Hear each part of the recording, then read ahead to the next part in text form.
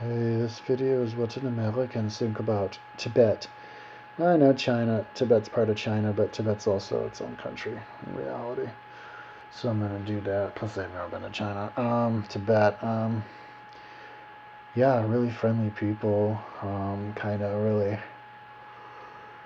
Uh, kind of look like their own race. Like they're really dark and they have this like really really thick black curly curly curly afro hair. And like asians don't really have like curly hair. They've got the curly afros and they're really dark and got the really fat faces.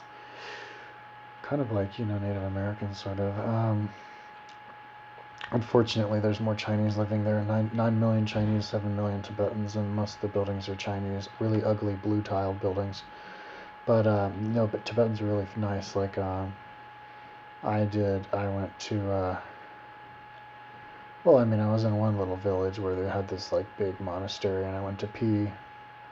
Where these construction workers were working, they're like, "We're gonna cut your dick off," but I think they were joking. But they just didn't want me to pee there. But, um, anyways, uh, I went into uh, Pota, uh, um, Lhasa, and uh, they're really friendly because like I didn't have any money because I like couldn't get any money there because they don't goddamn Chinese don't take like my Visa card, and that was like the only money I had. So I had to sell all my shit. And like all these like street vendors like collected all the money and gave me like 30 bucks. All these like Tibetan street vendors, so they had like compassion for me.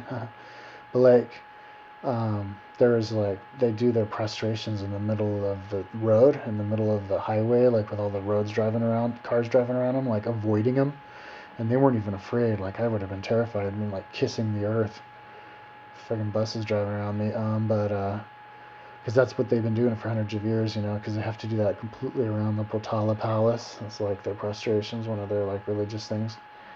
That was kind of trippy. Um, and then, but they have lots of like, uh, you know, they have like the arguments. We, and we went to one thing where uh, there's all these kids, all these like hundreds of uh, monks in this one big field.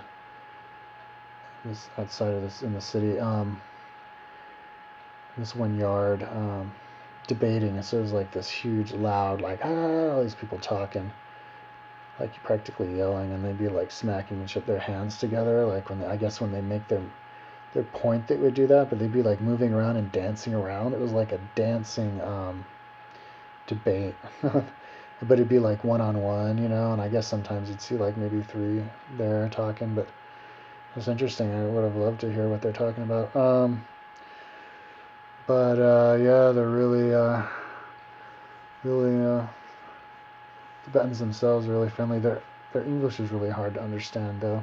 Like our tour guide, I could barely understand what he was saying. I didn't even bother to ask him to repeat himself because he had a lot to say, but I didn't understand it. Um, the whole city, the whole country itself is really, uh, really barren. Like no trees anywhere. You know, even when you're driving down like the valley with the river, it's just like a couple trees next to the river. Um, but uh, yeah, pretty cool. Um, some of those monastery towns, it seemed like they were in the middle of nowhere. You drive forever. It's a big place. This country's a big place. You drive like for I don't know how they got around then. Because you drive forever and forever, and then there's like some like village in the middle of nowhere with a big monastery right there, like an ornate but um, yeah, and they eat momos. Momos is the food they eat. It's like it's like uh, folded up uh, uh, dough where they would have like boiled vegetables inside. It tasted really good. It was really healthy. Um, that's like the national meal. The Potala Palace there is like really big, really huge, and it's built on top of a hill. So it's like really high, like multi-level lovers levels.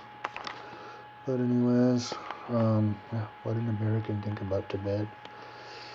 Um, the Chinese, man, were kind of rude though. Like my Chi- the Chinese, like we went and stayed at a hotel, a big Chinese hotel we were supposed to stay at, and then like when they found out, the guy found out I didn't have any money, he was like angry with me, and he seemed like he'd be angry with us anyways. Just generally, it was just really rude. Like we were annoying him by being there and then I found I didn't have money and like the Chinese one of the Chinese workers at the hotel like wanted to hang out with me while I went and got noodles, and I was talking to him, and like I thought he was hanging out with me for that, but it, he wasn't saying anything back. Maybe because he didn't understand English, but it was just kind of weird. I kind of had the impression that maybe he was spying on me or something, but. Um, and you could you could tell the difference between who's Tibetan and who's Chinese there still. Tibetans are darker skinned and um, curlier hair, but uh, anyways, when I think about Tibet, barren, whole country's barren, and just to the north of the of Mount Everest, it's totally flat. Pretty crazy. Just flat plains that are really high too. So.